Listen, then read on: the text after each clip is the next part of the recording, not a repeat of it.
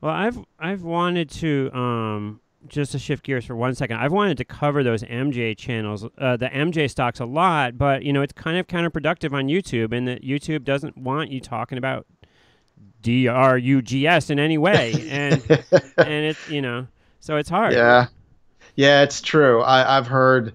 Uh, I don't know how true it is, but I've I've heard that uh, channels have been shut down, uh, videos have been wiped out, uh, or at least demon. Well, definitely demonetized. I don't even try to monetize those videos anymore. Um, so, but but the industry is going crazy. In the meanwhile, TLRY yeah. uh, was up like twenty dollars at one yeah. point today. Tilray. Like, yeah. yeah, it was it was up to like ninety seven dollars at one point today, which is just unbelievable breakout. And uh, you know, CGC had that huge rally after earnings, and then it, it's kind of followed through. It, I mean, it's it's uh, it's it's definitely a, a, a big thing right now. I, I, I think. Have you been following that stuff at all? Oh sure. And the thing is, now everybody wants to buy. Well, that's typical. Everybody wants to buy after multiple really big green candles, daily candlesticks. That's not when I buy. I I I buy when nobody's talking about something that I believe in. Are you saying so, like green, green, like green candlesticks, bro? Like the kind you smoke? there you go. Yeah, you now these candlesticks you can't smoke. You can watch them, uh, you can adjust them, but no, you can't smoke them. But yeah, if you if you're gonna buy after multiple consecutive green candles, oh boy, you're you're just asking for trouble in any asset class.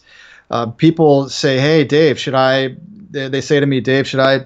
I should buy now, right? I mean, legalization is coming to Canada October 17. Again, if I know this and you know this, you know who else knows it? Everybody. Okay. So in the past few days, it's been priced into all these stocks and the ETF as well. HMLSF, the the ETF, also known as HMMJ, the Horizons uh, marijuana ETF, that's been going up three, four percent a day on, that's kind of unusual for an ETF. You don't see that very often. So, am I going to buy it right now? I, if you already own it, that's one thing. Uh, but if you're going to take a position now, you're buying high, and you might end up might end up selling low, which is what I don't recommend. So, what's the what's the advice for the normal person? Wait for the inevitable pullback, and then look for something that's a bargain to buy. Yeah, I'm a bargain hunter by nature. I've always been like that. And so, yeah, pick and choose, either pick and choose your favorite companies in the space, whether it's Canopy, Aurora, Aphria, Organigram, Emblem, Emerald, whatever. And you know, make your own ETF, build your own ETF, or buy the Horizons ETF, which last time I checked had 41 uh, of the biggest, most popular uh, companies in the marijuana space. It also has Scotts Miracle Grow, interestingly enough. Although I don't blame them. There's a good reason for that. And decide what your time frame is. What's your time horizon? How long you plan on holding it? And that can help you to decide when to get out or whether to get out. Yeah, well, shout out to your your frequent guest, Rich TV, who's had some good coverage on all of this. Um, so what about? Let me just ask you. What about when we keep hearing about these new gold stock, or not gold stock, uh, MJ uh, uh, cannabis stock? I'm trying not to say a word that's going to like disqualify my video right away. But these sort of green stocks.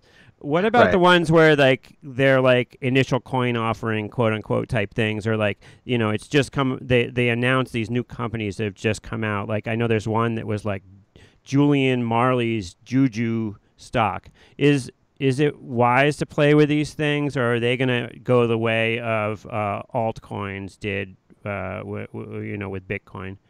Um, yeah, I, I, have a tendency to want to buy the blue chips of any sector, uh, the best of the best, and the time-tested ones. That's just uh, my nature. N- not always. I'll take a chance sometimes. I'll make a lotto play, but that's with a small percentage of my account. Uh, for the the bread and butter, the the real money makers in your account.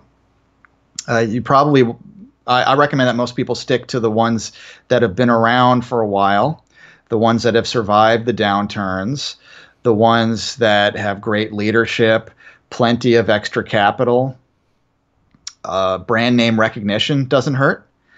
And when you stick with those, you actually have something of a buffer uh, because every company is going to have a bad quarter, bad earnings report. And when you have a great, huge, time tested company, then it's very likely to survive even a bad quarter. There's no guarantees. I mean, look at look at what's happening to Sears, GE.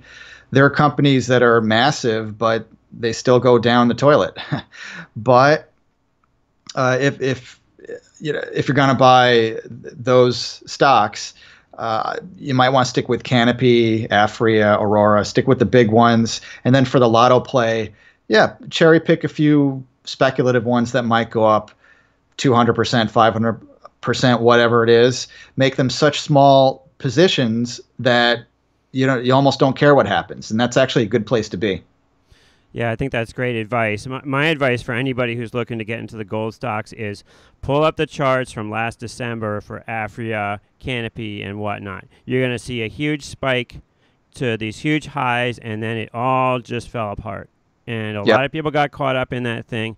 Just be aware of that.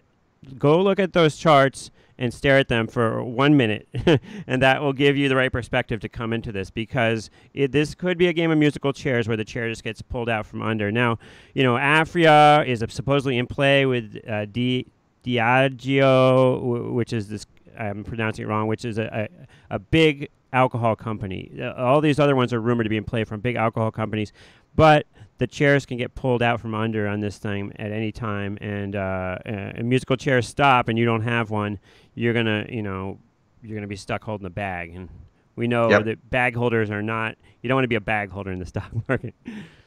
Yep, very true. You don't want to be a bag holder. Watch those charts, stare at it for a minute, uh, make a picture of it, print it out if you have to, put it on your wall. Learn your lesson, uh, not the hard way. Learn it the easy way. Learn it from people who've already made the mistake. And that way, uh, otherwise, you're going to end up going to stock market university, and tuition is not cheap. Amen, brother. All right.